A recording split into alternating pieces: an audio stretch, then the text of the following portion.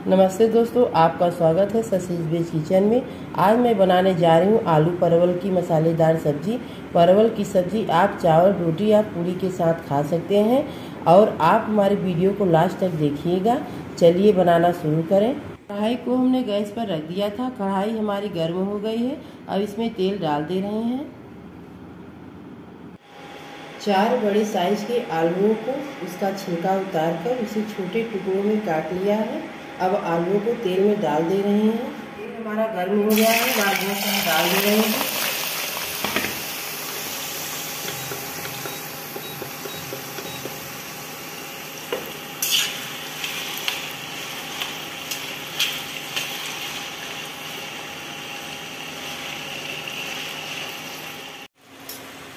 Gas की आँच को हम तेज रखेंगे। आलूओं को गोल्डन ब्राउन होने तक भूनेंगे।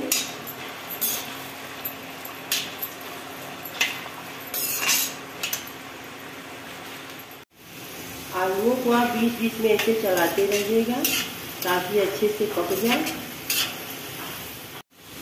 आलू फ्राई हो गया है, अब इसको निकाल कर इसी में परवल को भी फ्राई करेंगे।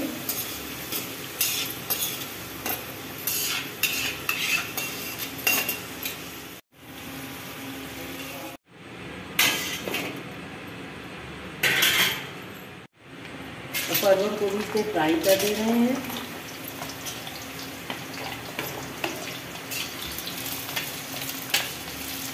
परवल को भी गोल्डन ब्राउन होने तक भूनेंगे। जब तक ये फ्राई हो रहा है, तब तक चले टमाटर और प्याज को पीस लें तीन बड़े साइज़ का टमाटर था, उसको हमने धोकर काट लिया है, जिसमें पीसेंगे।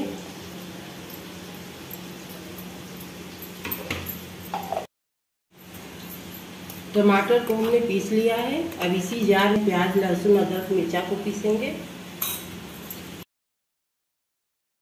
दो बड़े साइज़ के प्याज को हमने बारीक काट लिया है। दो हरी मिर्च बारीक कटा हुआ थोड़ा सा अदरक दस बारह कलिया लहसुन।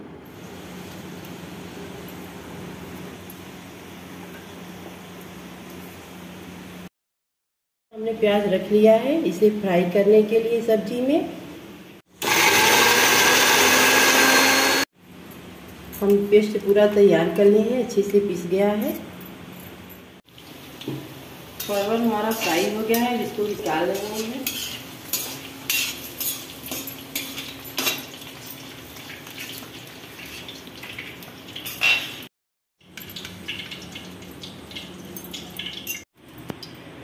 तेल ज़्यादा इसको निकाल दे रहे हैं।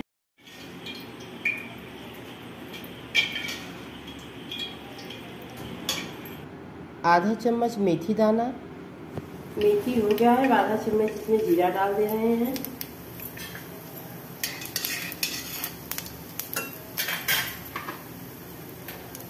जीरा भी हो गया है, प्याज डाल दे रहे हैं।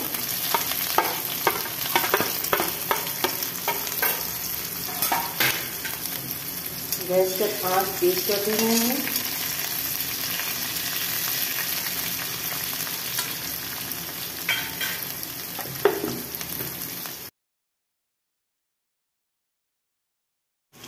प्याज भी भून गया है। अभी इसमें अदरक लहसुन, मिर्चा का पेस्ट डालेंगे।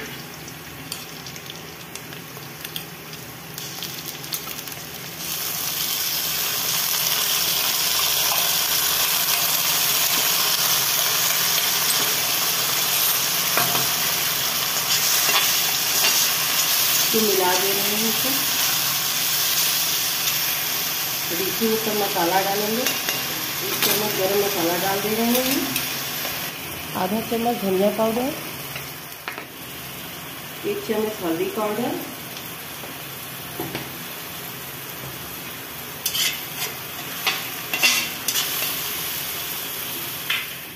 एक चम्मच लाल मिर्च पाउडर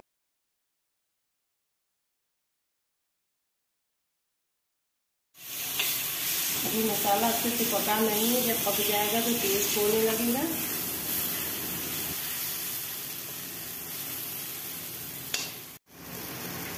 मसाला मेरा भूल रहा है, ये इसकी खुशबू आने लगी है इसमें कह रहे हैं टमाटर को डालेंगे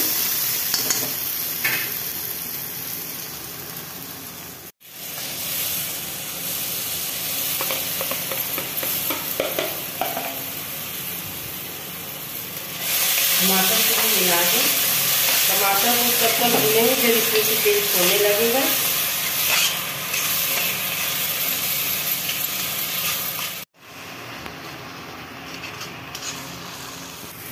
मसाला को आप बीच बीच में इसे चलाते रहिएगा। तो नीचे कढ़ाई में लग जाएगा। मसाला हमारा पक गया, देखिए पेस्ट होने लगा है। अब इसमें एक कटोरी पानी डालेंगे हम।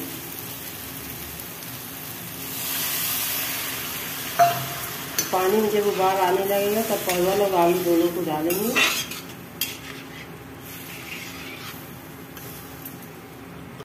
नमक स्वाद अनुसार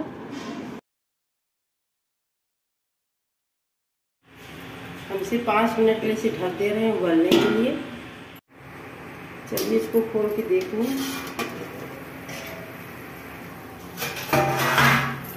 पानी में भी उबाल आने लगा है, पानी पक गया है। परवल आलू को डालेंगे।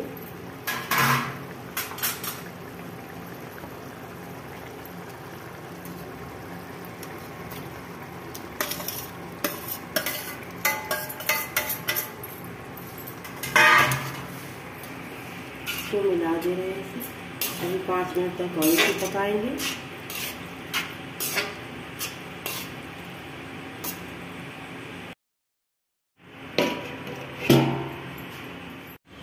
सब्ज़ी को हम खोल कर देख ले रहे हैं। इसमें अच्छी से उबाल आ रही है, सब्ज़ी पक गई है।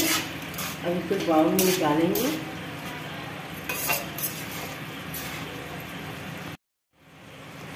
हरी धनिया डाल दे रहे हैं।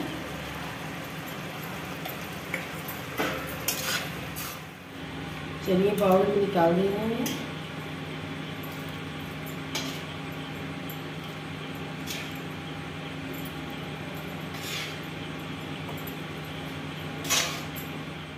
अब हरी धनिया से इसका गार्निश कर दे रहे हैं।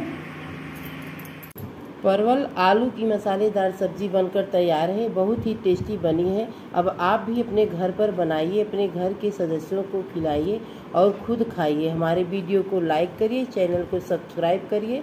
धन्यवाद।